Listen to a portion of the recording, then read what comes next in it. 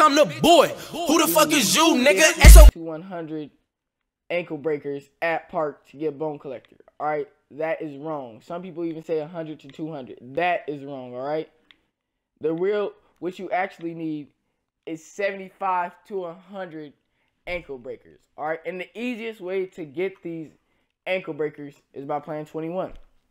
All right, you could dribble for as long as you want without having to pass the ball. The only problem is you got the shot clock. I mean, if you're not really caring about winning, you could get a lot. Then again, if you're trying to win, you could still get a lot, but uh 21 is the easiest way to get it. It, it it's just it's just easier. It's you playing by yourself. All you need to worry about is you. You don't have to worry about your teammates or any of that. Telling them saying pass the ball, and it's easy. That's why that's that's why I play 21. It's easier to get it. Uh, already have it. I will show you guys that soon after this game ends.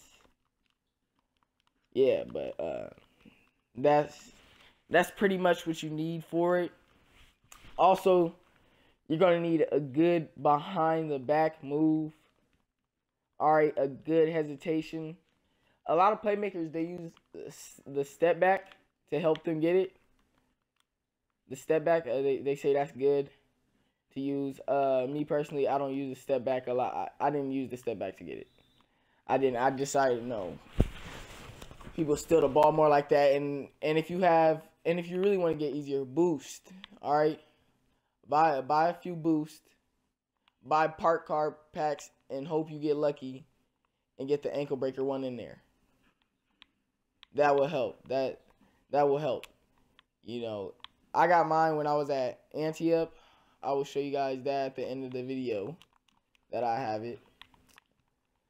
But yeah, I got mine at Antioch and that's and it was pretty easy for me to get it from there. Oh my nigga, damn. Yeah, but uh please everyone, please, uh, please listen to, to these rules, you know, and if you can, like and like this video, subscribe to my channel, and I guarantee you, this is a, I guarantee you 100%, this is how you get the badge, man. This is how you will get that bone collector badge. I'm not lying to you guys. This is the most definite way to get the badge. I am telling you guys now. All right. 75 to 100 ankle breakers. All right. Go to the 21 courts. If you're a baller, I'm a baller, so I have to go to Rivet City or Antioch or Flyers to play it. But like I said, 75 to 100 ankle breakers. Play 21 and get a good hesitation or behind the back. And if you're and if you don't feel like playing 21, go. What you're gonna do is go to threes. All right or twos. Twos is a little more difficult to get it, but go well. Actually, twos you can still get it the same way you got it for for 21. But if you go to the threes, you get the ball on the takeout, run up the court, and do your behind the back right away. Run up to do do the behind the back. It will almost about nine out of ten times take his ankles. All right, and let me show you guys the badge. You know, let me let me pull that up for y'all. Here we go, right here, man. Wait, oh, my bad, my bad. Let me get to it. Here we go, right here, bone collector badge. All right, so like I said, 70, 75 to 100, 21 courts, easiest way.